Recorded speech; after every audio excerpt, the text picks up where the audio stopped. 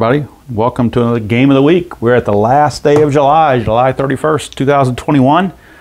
And of course, we're at Exhibition Stadium replaying the July 31st, 1982 game between the Detroit Tigers and the Toronto Blue Jays in Strat-O-Matic Super Advanced. Look at our starting pitchers for today's game for the home-standing Blue Jays. It'll be right-hander Jim Gott. He was 5 and 10 with a 4.43 ERA and 23 starts. He'll be opposed by right-hander for the Tigers Jerry Ujdur. I guess that's how it's pronounced. Uh, 10 and 10 with a 3.69 ERA. So neither pitcher stellar. This is not exactly Dave Stieb against Jack Morris. So we could see some runs in this one. We shall see. Uh, let's look at the starting lineups from this game. And we have for the Detroit Tigers, leading off Lou Whitaker at second, Tom Brookens at third, Larry Herndon in left, Lance Parrish catching, Richie Hebner the DH, Rick Leach at first, Chet Lemon in right, Glenn Wilson in center, and Alan Trammell at short. Kirk Gibson is on the disabled list at this point in time. That's why he's not in the lineup. For the Blue Jays, Damaso Garcia at second, or Damaso, I think it's Damaso. Uh, Rance Mulliniks at third, Lloyd Moseby in center, Willie Upshaw at first, Hosken Powell in right, Glenn Adams the DH, Al Woods in left, Ernie Whitt catching, and the shortstop is Alfredo Griffin. Ballpark effects. Singles 1 to 11 for both lefties and righties. Home runs, very friendly home run park. Left-handers 1 to 16, right-handers 1 to 19. So that combined with the not so great starting pitching could mean we see some runs in this game. We shall see, but that's why you roll the dice. Never know, it could turn out to be a 2 nothing game. It's the way, you, way it goes sometimes. All right, so since we are at the home of the Blue Jays, north of the border, Blue Jay colors are blue, so all the dice in this one are going to be blue as they control the dice. All right, Jim Gott finishing up the warm-up tosses here at Exhibition Stadium. Lou Whitaker limbering up on the on-deck circle. And game of the week, 1982, July the 31st.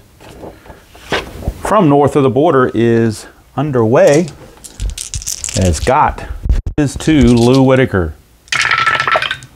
Get a 5-9, 5-9 against a lefty. That's an in-home run chance right off the bat. He does have normal power. 1 to 7 to homer, 8 to 20 is a double. That's a 5. Lou Whitaker leads off the game with a home run. And what was I saying about run scoring in this game? We could see them in bunches. Lou Whitaker had 15 home runs on the year, and he gets one right here to put the Tigers ahead 1 0 before the seats are even warm. And here is Tom Brookens. Gott to Brookens, 5-12. Ground ball first base X. First baseman for the Blue Jays is Willie Upshaw. He's a 2 E18. 2 and a 6, he will get to that. E18 and a 10 should be okay, and it is. 11 and 12 are errors, but not a 10. And the 2 and the 6 is a G2, which is good enough. So he will take it to the bag himself, one away.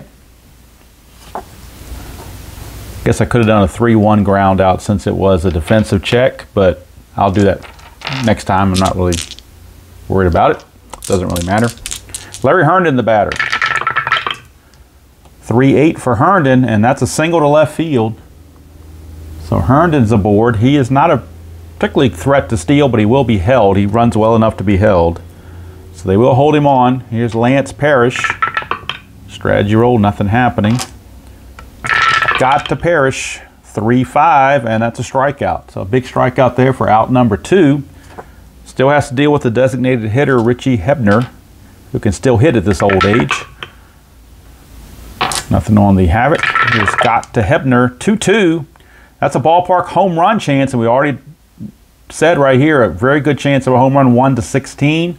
That's a 1. It is gone. Richie Hebner, a two-run homer for the old man Richie Hebner, and the Tigers lead it 3 to nothing here over the Blue Jays. Jim Gott got a bad break. That the dice at the last minute rolled to a 2-2. It looked like it was going to be something else, but they kind of mangled together, and that's how they fell out. So them's the breaks, as they say. Here's Rick Leach, first baseman. Four nine, uh, sorry, four eight against a lefty is a one to fifteen single, so that's a base hit. So Jim Gott, not exactly fooling anybody. We could see the bullpen early and often for Toronto. Rick Leach will not be held, I don't believe. Well, he will be held. I'm sorry, he will be held. He stole four bases, didn't get caught at all. He will be held, but he won't try to go anywhere. Nothing on the Havoc. And here's Chet Lemon playing right field. 3-4, and that's a ground ball back to the pitcher to finally end the inning. But three runs, three runs for the Jays here in the top of the first. We go to the bottom of the first, Toronto, I'm sorry, uh, Detroit three and Toronto coming to bat. I think I miss, I think I accidentally said three runs for the Jays. It's actually obviously three runs for the Tigers. All right, so Detroit with a 3 nothing lead. Sparky's pretty happy. And Damaso Garcia I think Bobby Cox is managing Toronto in 82. I'm not sure. I think he's in there in 82. Could be wrong. Could be somebody else. I don't remember off the top of my head, but I thought it was Cox. Should have looked it up. All right, Damaso Garcia or Damaso Garcia. I, I always called him Damaso, but I'm not going to argue with you one way or the other how you want to pronounce it. He's against Jerry Ujdur, and I won't argue that pronunciation either. 5-5. Ground ball shortstop X, that's Alan Trammell, 1E17. Don't even need the D20 on that one, just need checking the error. That's a 5, so that will be a rare play, so we will need the D20 after all to see if it's a G1 or a G2. A 1 and a 5. A 1 and a 5 is a G1, so it's a rare play on a G1. If there's a run on first, the ball hits the, the batter hits the ground ball to the fielder, starts a double play. The run on first breaks the double play. The umpire rules interference, blah, blah, blah. Uh, if no runners on base, then refer to the following chart. Empty, we just get the throw on the batter and that's out. Okay, so there's no rare play there because nobody was on base. Just a simple 6-3 ground out. But had somebody been on first, they would have awarded an interference on the defense and awarded a base there, but that's not the case. So Garcia is retired, and that's going to bring up the number two hitter, Rance Mulliniks. Ujdur 412 against a lefty. Split chance, 1 to 13 is a single, but and that's a 12, so it will be a base hit for Rance Mulliniks. And back come the Jays. Mulliniks will not be held. Parrish a minus three arms, so not likely the Blue Jays are going to do a whole lot of running anyway, but they're definitely not going to hold Mulliniks, who doesn't steal all that well. He stole three bases, got caught twice. Plus down 3 nothing. You don't want to run yourself out of an inning. Here's Lloyd Moseby. 6'10", left-hander, struck him out. Moseby out on strikes, two down. It's all up to Willie Upshaw, the first baseman. Nothing on the Havoc. Ujdur to Upshaw, 4-9 against a lefty. That's a fly to left, and that's going to end the inning.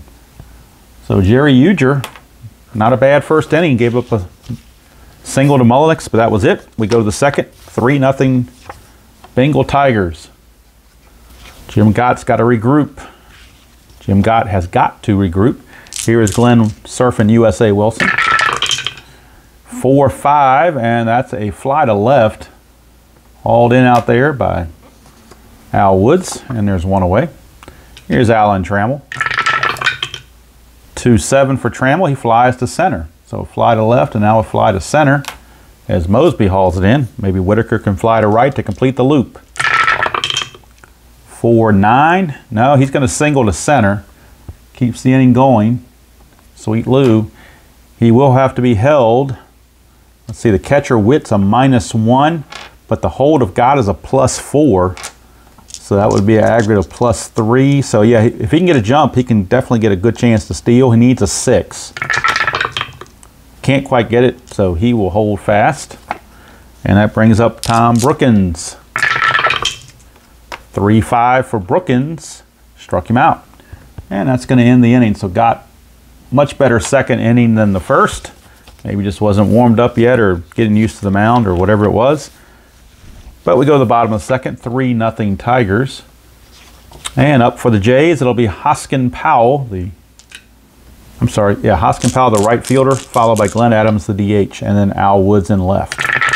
Three lefties in a row, 2-6. Fly to left, one away. Brings up Glenn Adams. 3-7, and that's a 1 for a double. Anything else is a single. So a one out single for Glenn Adams. He is no threat to steal whatsoever. He will not be held. And that is going to leave it for Al Woods. Nothing on the Havoc. Here's Al Woods.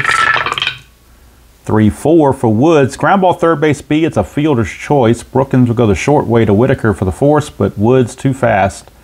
Not going to be able to turn the double play.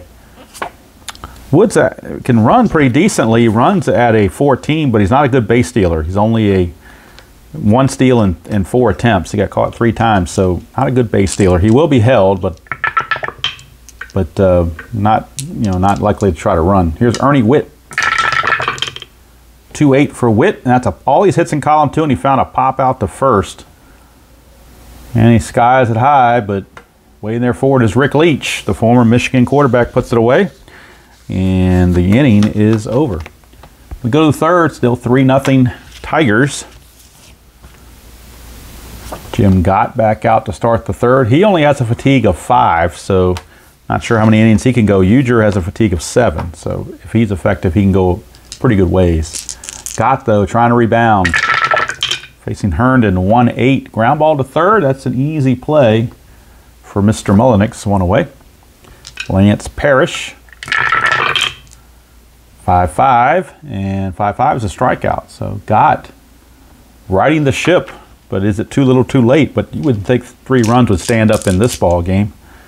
Here's Hebner, 2-5 for Hebner, and that's a two-out single. Almost had a chance at another home run. 2-6 would have been another another home run. If he'd had 2-6 with that 10 being there, he would have had a two he would have had a second home run of the game, but it's 2-5, so he settles for a single. And of course, he will not be held is Rick Leach. Nothing on the Havoc. 6-7, ground ball second base X. And since Hebner was not being held, the second well, the second baseman wouldn't apply to that anyway. It'd be the shortstop that would be one holding. So second baseman Garcia is a 1 E18. Don't really need the 1, but we'll roll it anyway just for the heck of it. 1 and a 19 is good all day long, and 11 and E18 no 11 to G1, so it's the third out of the inning, so we'll just say it's a 4-6 fielder's choice because it would have been a double play otherwise. And that's going to end the inning. As Garcia flips to Griffin to end the frame. We go to the bottom of the third, still 3-0 Tigers. Ujdur back out will face Alfredo Griffin, shortstop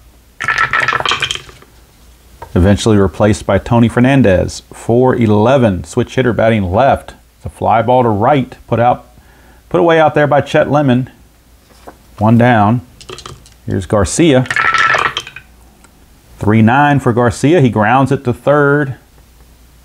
Easy play for Mr. Brookens. Two down for Rance Mulliniks. Uh, four seven rather against a lefty. One to three is a single. That's a one. So Mulliniks gets his second hit of the game. He's two for two. Of course, he will not be held. He's not going to go anywhere. Here's Lloyd Moseby. Nothing going on there. Ujdur to Moseby. 5-8 against a lefty. Pops him up to short. Trammell puts it away, and the Blue Jays are dispatched pretty quickly. We go to the top of the fourth. Still 3 nothing favor of the Tigers. Jim Gott back out. Be facing Chet Lemon to start things off. It'll be Lemon, Wilson, and Trammell, bottom of the order. 1-4 for Lemon, and that's a ballpark single check. 1 to an 11, but that's a 19. So it's merely a hard liner that's snagged by Griffin, one away. That'll bring up Glenn Wilson. 3-4, and it's a ground ball to second. Garcia all over it. Two up and two down, and now Gott has retired. Let's see. Going back to the previous inning here, it'd be three, five, nine, 11. He's retired nine of the last 11 he has faced. So he's certainly turned it around from that first inning. Here's Trammell. Odd seeing him bat in the ninth spot, but he's still, he's not the Hall of Famer Alan Trammell yet. He's still working his way towards that. 2-7 for Trammell. He flies to center, and that's a 1-2-3 inning for Mr. Gott. So, Maybe we'll get that 2 nothing score or 3 nothing score I was talking about earlier. Maybe we won't have a 10 to 9 game. We shall see. I thought so with the ballpark effects and the pitchers, I thought we might get it. But of course, there's still five plus innings left. All right, so Willie Upshaw, the batter, flew to left his first chance. 1 3, and he's going to ground it to first. Easy play there for Leach. He just steps on the bag, one away. Hosken Powell. 5 6, and that's a pop up to first. So Leach again. Johnny on the spot, living the lifestyle of the rich and famous. Two down for Glenn Adams. 5 7, and that's a ground ball second base X. That is Whitaker, and Whitaker is a 2E11. 2 and a 10 is good. E11 and an 11 is good as well. And the 2 and a 10 turns out to be a G1. So easy play there for Whitaker. Sticks with a tricky hop on the carpet and makes the play. We go to the fifth, still 3 nothing. That's Those three runs have stood the test of time up through this inning. This is the point of weakness inning for Gott, though. He has that number five there, so got to keep track of his point of weakness going forward. Whitaker, the batter. 2 7 for Whitaker, and all these hits in columns two, and he found the ground ball to second. So Gott dodged one there as Garcia put it away. Here's Brookens. 6 5, and that's a ground ball shortstop X. That is Mr. Griffin. He is a 2 E27. 2 and a 12 is good. E27 and a 6 is good as well. So good play for Alfredo Griffin. Two down for Larry Herndon, left fielder. 1 6 for Herndon, and he flies to center, put away out there by Moseby. And Gott has plans of sticking around longer than those five innings. He has been on a roll, but that first inning may be too hard to overcome, especially the way his offense is not performing. Here's Al Woods, not exactly like Ujdur as a, the second coming of Jack Morris. Here's Al Woods, 3-8, and that's a pop out to second base. Whitaker right there, one away. Ernie Whitt, the catcher, steps up. 5-5, and it's ground ball shortstop X. Trammell once again. 1E17. We know the 1's going to be a good play no matter what the D20 says. That's a 12. E17 and a 12 is a good play. So Alan Trammell. Two up and two down, getting the nice pure hop on this carpet. Two up and two down for Alfredo Griffin. 4-5, switch hitter, 4-5, ground ball to second. Whitaker right there. So the ball never left the out, never left the infield, and uh, Ujdur is pitching quite well for himself. Thank you very much. We go to the top of the sixth, still three nothing favor the Tigers.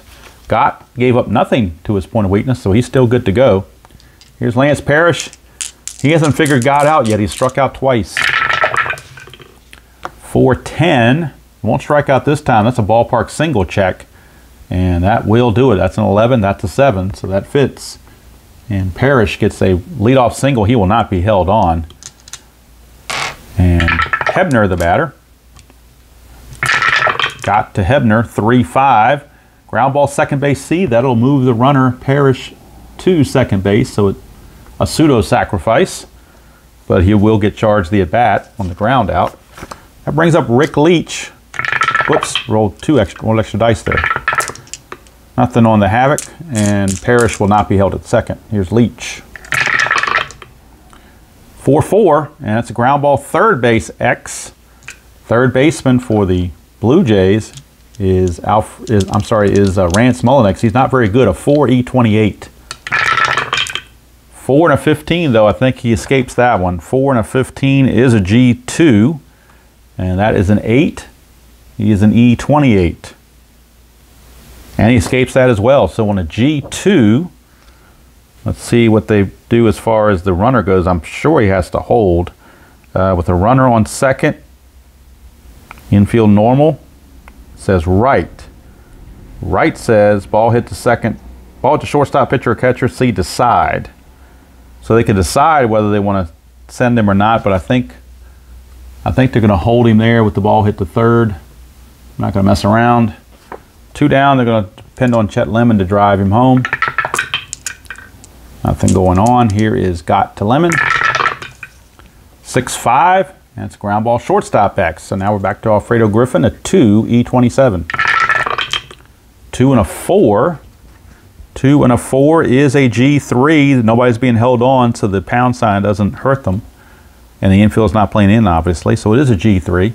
That's a 6, an E27 and a 6 is good as well. So Griffin up to the task, makes the play. We'll throw to first to get the out since it was a G3.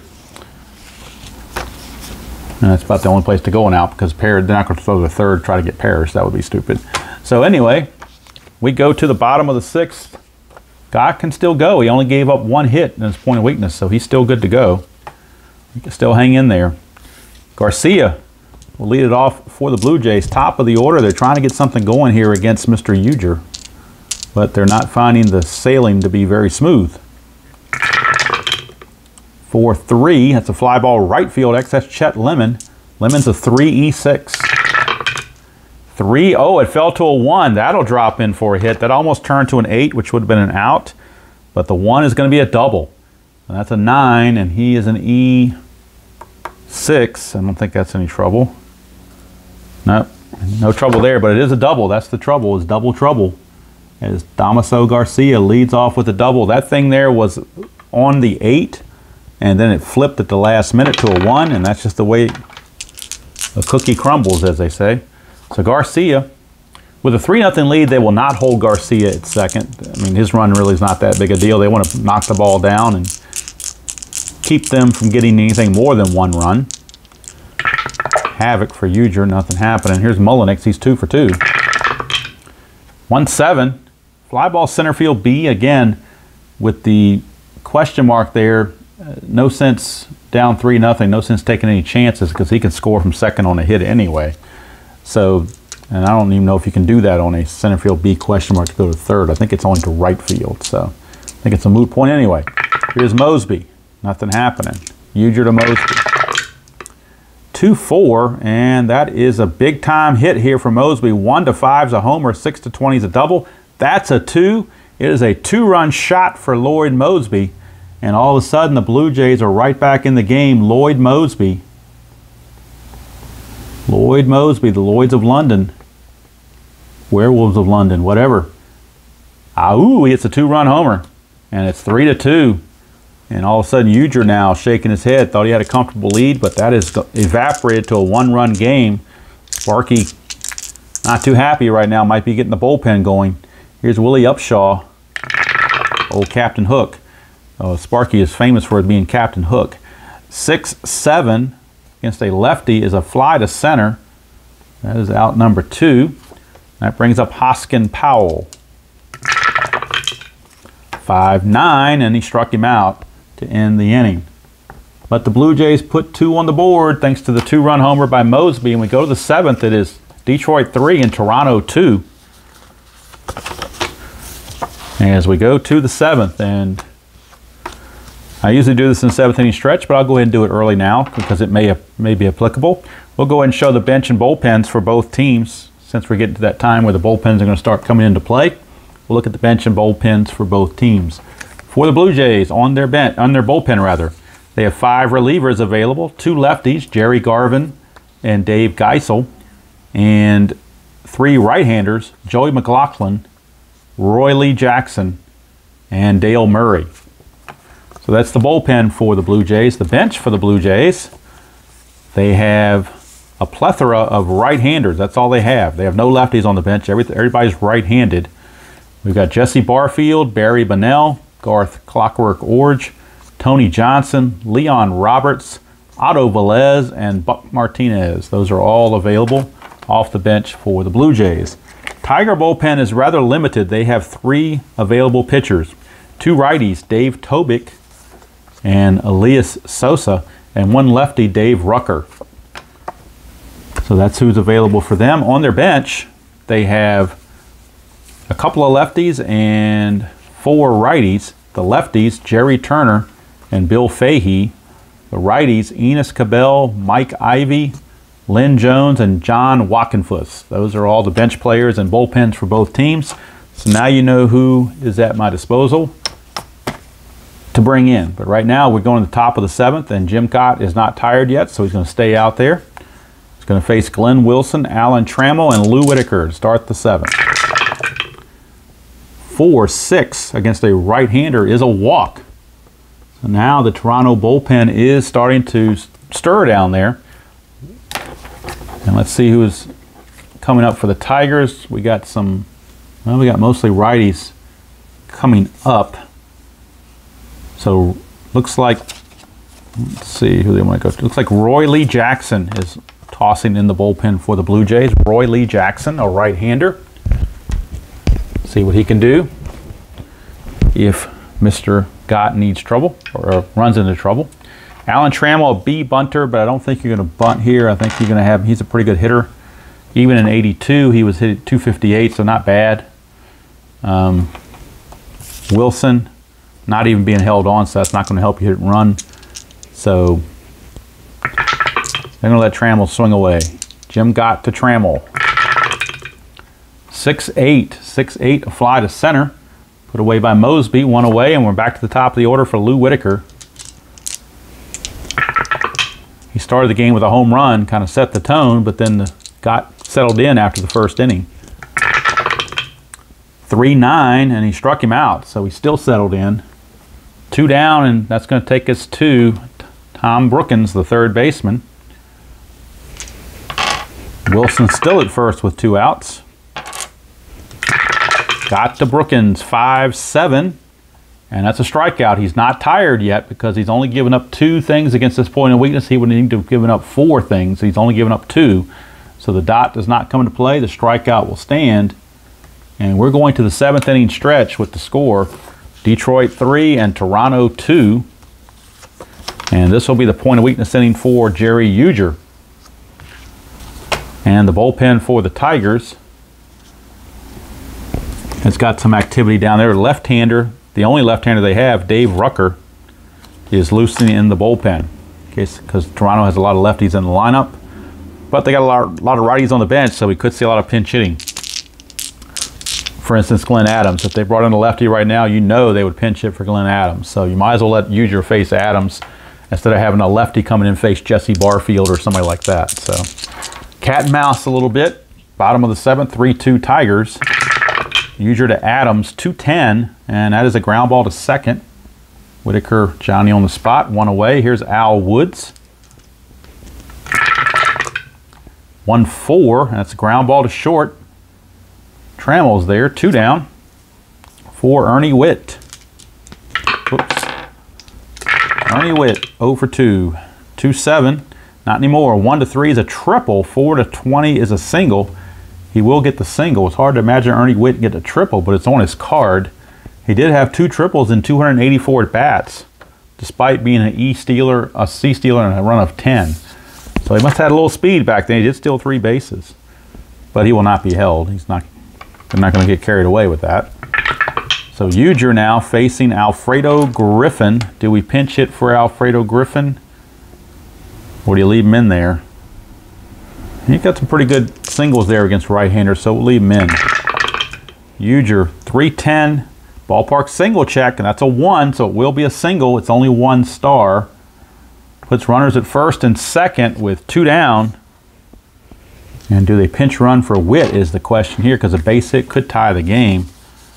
Look at their bench, see what they got on the bench as far as their speed. Do they have any fast guys on the bench? Barfield's the oh Barry Bonnell's pretty fast, but they're all decent hitters too. So you hate to you might need them to be a hitter. So let's see what they want to do here. Garcia is up first and second. One more base hit and Ujdur will reach his point of weakness. So Rucker still throwing in the bullpen. Nothing happening there. Here's Garcia. 5-12, and that is a fly ball to left to end the inning. Put away out there by Larry Herndon. And Ujdur is through seven. Score three to two. Three to two. And now Roy Lee Jackson, I believe, is going to come in for Jim Gott. Gott's day is done. He goes seven innings, gives up the three runs, and now Roy Lee Jackson. Roy Lee Jackson will be coming in to face Herndon, Parrish, and Hebner. Roy Lee Jackson on the 82 season, 8 and 8, 3.06 ERA. Did start two games, had six saves. His relief rating is a three, so he's he can finish the game obviously if he needs to. But they also have other pitchers as well. Here's Larry Herndon, the batter. He will lead things off. Herndon, one for three, single and a run scored in the first. Not much sense. Jackson, 111, fouls it out to Ernie Whitt.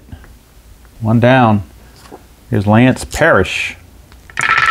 Jackson to Parrish, 6'11. That's a fly ball right field X. We are looking at the right fielder, Hosken Powell. Not very good. He's a 4 E9. 4 and a 3, that's definitely going to drop for extra bases. 4 and a 3 turns out to be a double. And that's a 17. He's an E9. E9, fortunately for him, no seven. There's a 16 and an 18, but there's no 17. So there will not be an error, but it will be a double. One out double for Lance Parrish. And if they were behind, they would pinch run for Parrish, but since they're ahead, they're going to keep him in there for his defense. And that'll bring up Richie Hebner. Jackson, nothing doing on that strategy roll. 410 against a left-hander is a ballpark single check, and it will be a single, but it's only one star. But now the Tigers have runners on the corners for Rick Leach. And they might be going to their bullpen again for a left-hander as the Tigers have some lefties coming up for Sparky maybe to pinch hit if they have to. They're going to go to Dave Geisel, the left-hander. So Roy Lee Jackson didn't hang around long. He is going to be lifted. He's only going to make it one-third of an inning.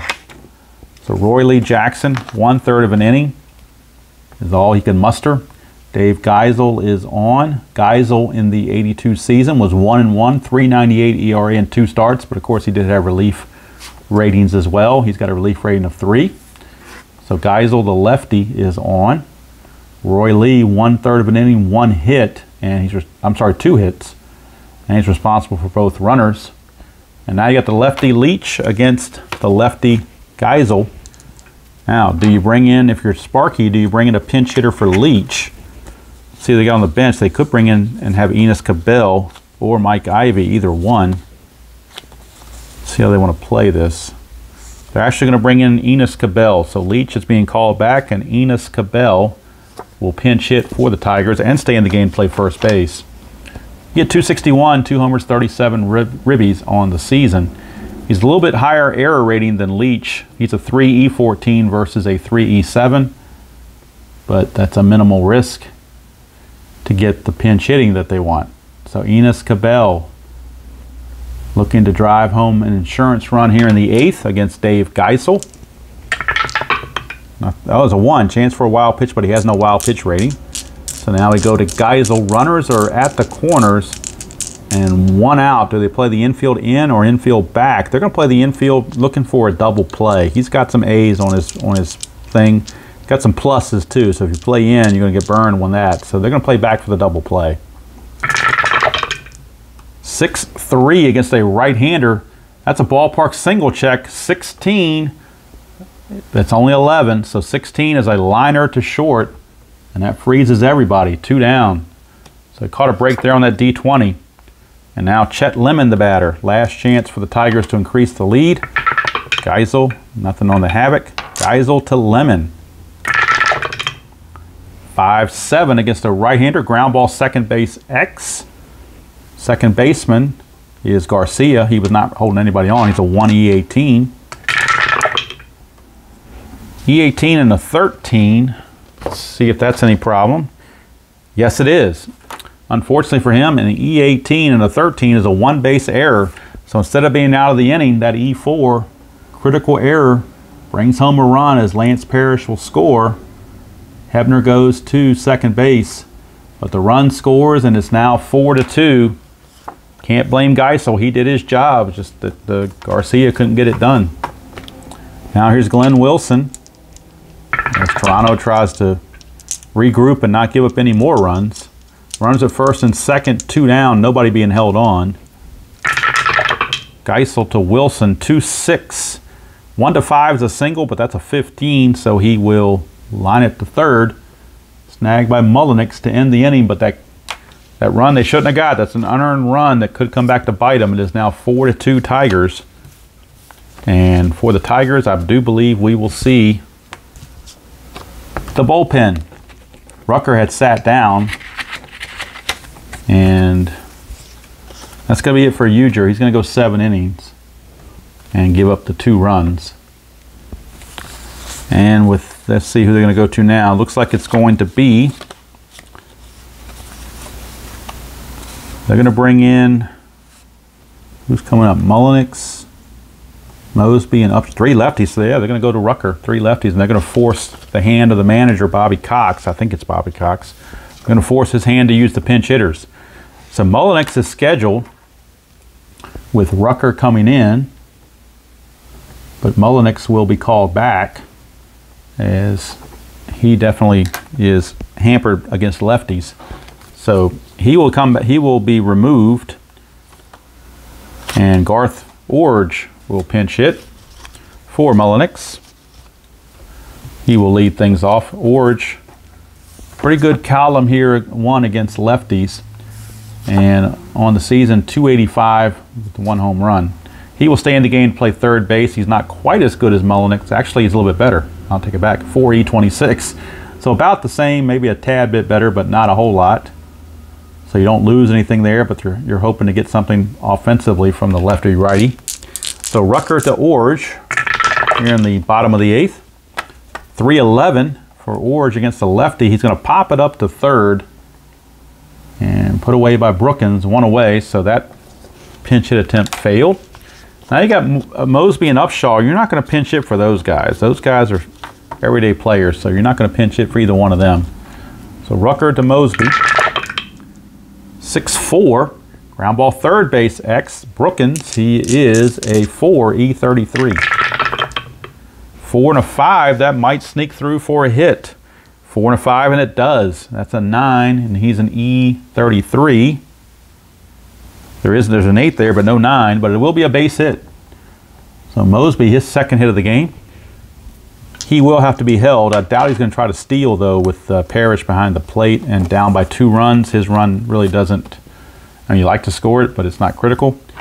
Here is Moseby. I'm sorry, Upshaw, rather. But uh, Moseby will be held on. So here's Upshaw against Rucker.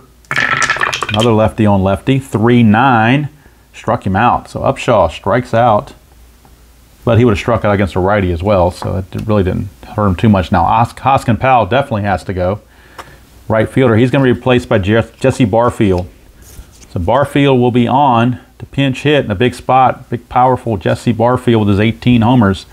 And he's got some homers here in column one that he can fall back on if he needs to. Of course, he will stay in the game also to play right field, a little bit better defensive player. Three, minus 3 and an E13. So Jesse Barfield is on to pinch hit. As the tying run here in the bottom of the eighth, 4-2 Tigers, two outs, bottom of the eighth. Rucker to Barfield. Nothing on the Havoc. 3-5 against the lefty, struck him out. So Rucker does the job. And we go to the ninth. Four to two Tigers, and the Sparky will have his closer Elias Sosa. Actually, they kind of closed by committee, but I, I believe Elias Sosa was their main guy for getting the saves, at least out of the pitchers that are available. He had four saves. Tobik had nine, actually, so maybe Tobik is the guy.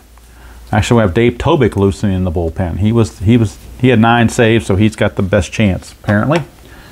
Right now, Trammell is he going to face Geisel or are they going to somebody else? Let's see.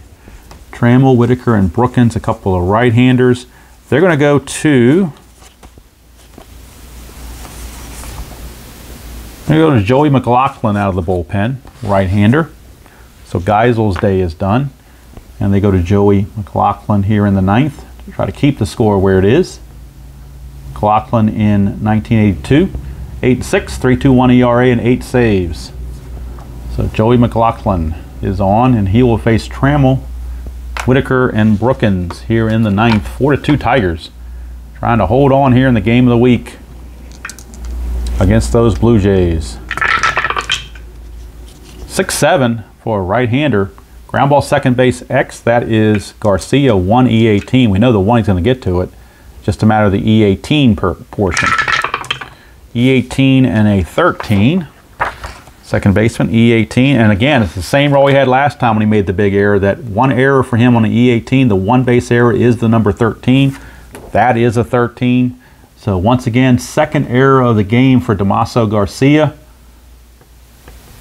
And you can pitch as well as you like, but if your infielders can't field it, what are you supposed to do? All right, so Trammell's aboard. Whitaker is a B bunter if they wanted to try to bunt and get an extra run out of it, but I think they're going to have him swing away. Trammell will have to be held on. And actually, we're going to do, we do a hit and run? No, we're just going to let Whitaker swing away. So Whitaker, McLaughlin to Whitaker. 1-4, ground ball second base A. Maybe we should have done something. That's a 4-6-3 double play. Probably should have hit and run. Probably in second guessing there, probably Sparky would have hit and run there, but oh well, too late now. Here's Tom Brookens. He's still got a two-run lead. So 210, 210 for Brookins, and he fouls out to third to end the inning. So after the error, McLaughlin comes back with no problem. We go to the bottom of the ninth. Last chance for the Jays. They trail it four to two as we go to that bottom of the ninth. And it will be Adams, Woods, and Whitt due up for the Blue Jays against Dave Tobik. And Dave Tobik, 4 and 9, 3.56 ERA, did have one start, but he had nine saves. So since he had more saves than Sosa did, I'm going to use him instead of Sosa. But if he struggles, Sosa will be ready to come in. So Glenn, let's look at the bench for the Blue Jays. They have all right-handers on the bench, but they might be better than some of these left-handers. Glenn Adams, the 258. We're going to pull him as the DH, and we're going to bring in a better hitter, at least perceived better hitter, in Barry Bonnell. Barry Bonnell hit 293 in 437 at bats, so he was a regular player quite a bit. He's going to come in. He will take over as the DH. And he's going to try to get something started for the Blue Jays here in the bottom of the ninth against Mr. Dave Tobik. As Rucker pitched one inning, gave up nothing.